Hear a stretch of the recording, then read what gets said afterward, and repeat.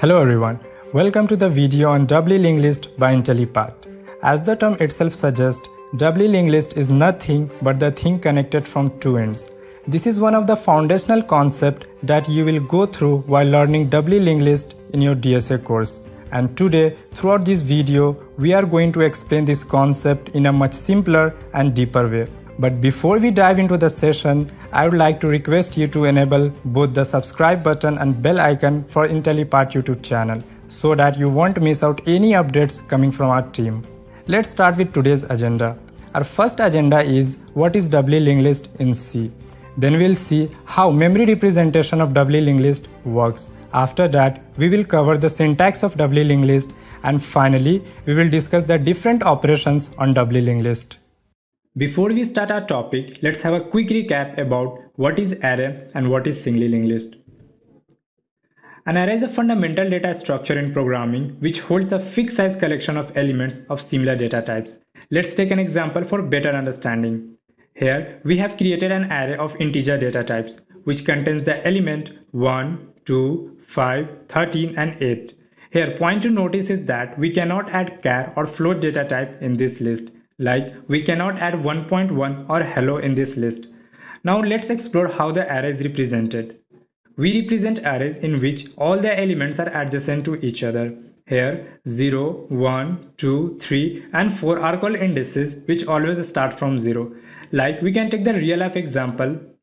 If in a bucket you have variety of different fruits like apple, banana, orange, then in this bucket you cannot add anything apart from fruits such as vegetables. That's all about array. Now let's look at the definition of linked list.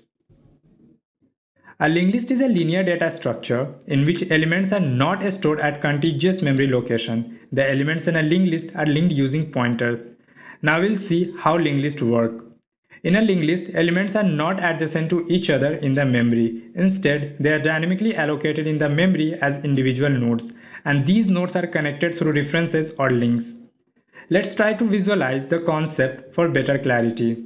This whole container is called node, which is further divided into two parts. One contains data and other contains memory address of next node, where memory address of next node is simply known as next. Now we'll see how linked list is located in the memory. Here, each node, for example, N1, N2, N3 and N4 stores data. In the next of n1, the memory address of n2 is stored. Similarly, in the next of n2, the memory address of n3 is stored and so on.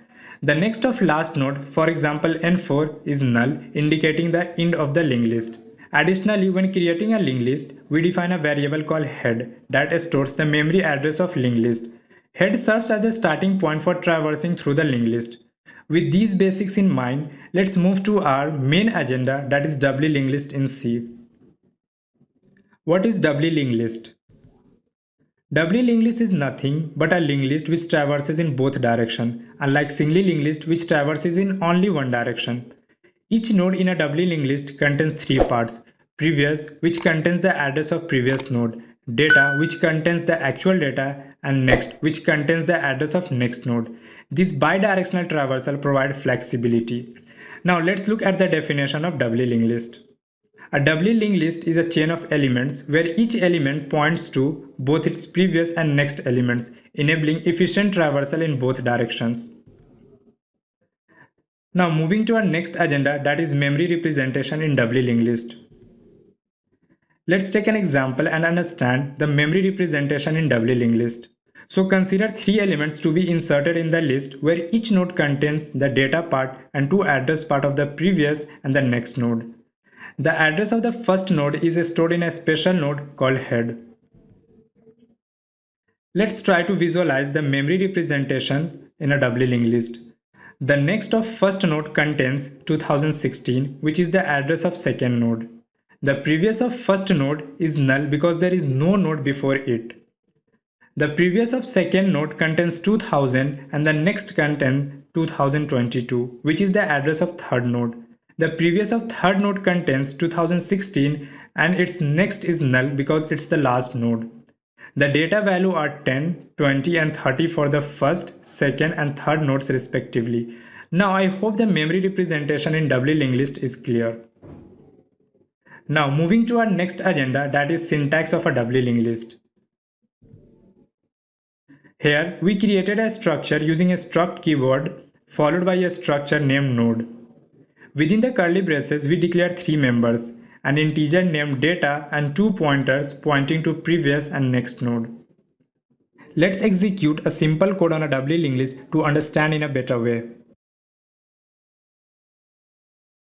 Here we have created a structure named node. It contains three members, data to store the value of node, previous to store the address of previous node and next to store the address of next node. After this we have a function named createNode that takes an integer value as a parameter and returns a pointer to a newly created node. Inside the function, memory is dynamically allocated for a new node using the malloc function the data member of the node is set to the input value and both the previous and the next pointers are initialized to null. Finally, the function returns the pointer to a newly created node. Then comes the display list, function that takes a pointer to the head of a doubly linked list as an input and displays the element of the list. It starts by initializing a temporary pointer current to the head of the list. Then it iterates through the list by repeatedly moving the current pointer to the next node until it reaches the end of the list that is null. During each iteration, it prints the value of current node and finally it prints null to indicate the end of the list. Now coming to the main function in which we have created three nodes using create node function which contains the value 1, 2 and 3. Then the nodes are connected to form the doubly linked list. Next of the head node is pointing to the second node. Previous of the second node is pointing to the head node. Next of the second node is pointing to the third node and previous of the third node is pointing to the second node. And finally, the display function is called with the head pointer to display the doubly linked list. Now we will try to execute this code. Here we can see that the output is 1, 2 and 3. So we have understood the basics of doubly linked list. Now let us look into the operations of doubly linked list. You can perform insertion, deletion and traversal operations on doubly linked list. Let us first talk about insertion operations. First, insertion at the beginning means to insert the element at the beginning of list. Then insertion at end means to insert at the end of the list and finally insertion after given position means to insert the element at the specified position. Let us execute simple code for better understanding. This function insert at beginning inserts a new node with the given data at the beginning of a doubly linked list. It takes a pointer to the head of the list as a parameter. If the list is empty, that is head is null, it sets the new node as the head. Otherwise, it updates the previous and next pointer to insert the node at the beginning. Over here, we have a insert at end function. This function inserts a new node with the given data at the end of a doubly linked list. It takes a pointer to the head of the list as a parameter.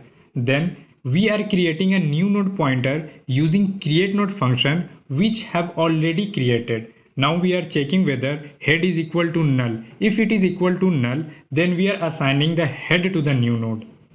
After that, to store the current value, we are creating a pointer named current and storing the value of head into it. Just like that we have done previously, we will run a while loop until the next is not equal to null and we will keep setting the value of current as the next. When the next is equal to null, we will update the next of current to the new node and previous of the new node to current. Now we have a insert after function which takes pointer, previous and integer data type as an argument.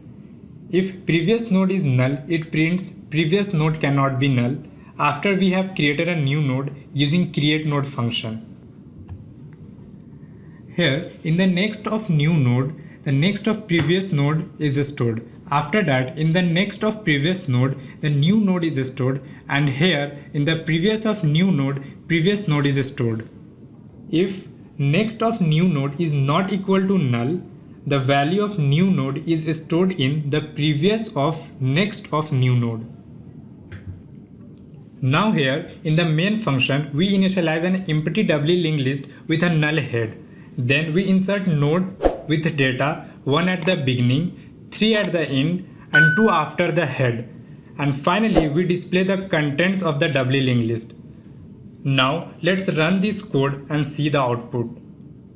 Since we inserted 1 at the beginning, 2 after the head and 3 at the end, therefore we can see this output that is 1, 2 and 3. After this we have a deletion operation. First deletion at the beginning means to delete the element at the beginning of list. Then deletion at end means to delete at the end of the list. And finally deletion after a given position means to delete the element at a specified position. Now let's execute a simple code for better understanding. This function delete at end is used to delete the last node from the doubly linked list. It first check if the list is empty, that is, if pointer head is equal to null and if so, prints a message and returns. If head of next is equal to null, it means there is only one node in the list and it frees the memory and set the head to null. Otherwise, it traverses the list to find the second to last node, update the pointers to remove the last node and frees the memory of the last node. For that, we have created a temporary pointer current to the head of the pointer. If the next of next of current that is the second last node is not equal to null, then we update the value of current to next of current. And finally, we are deleting the last node using the temporary pointer temp. Now we will try to execute this code. This is the output before deletion and this is the output after deletion. We can see that the last node is deleted which contains the value 5. And finally, we have a traversal operation.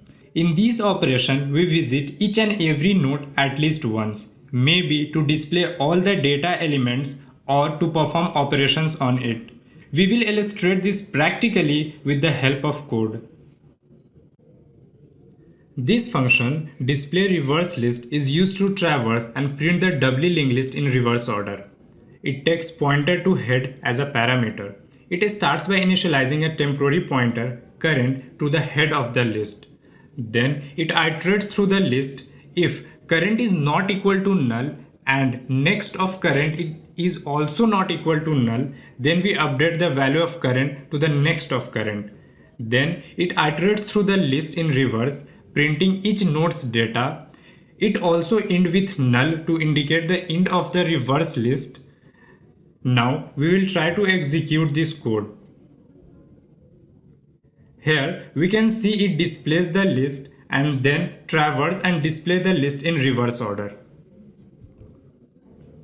So that's all for today. Great job everyone. We have covered a lot in this video about doubly linked lists and I hope now we have much clear understanding of how they work and why they are important in programming. Before we wrap up, a quick reminder don't forget to enable the subscribe button and ring notification bell so that you won't miss any updates from our team. Just a quick info guys. Intellipaat offers full stack web developer course in collaboration with E&ICT Academy IIT Guwahati. Through this course, you can learn everything from front-end web development to back-end web development from esteemed IIT Guwahati faculties and industry experts. With this course, we have already helped thousands of professionals in successful career transition. You can check out their testimonials on our Achievers channel, whose link is given in the description below. Without a doubt, this course can set your career to new heights. So visit the course page link given below in the description and take a first step towards career growth in the field of web development.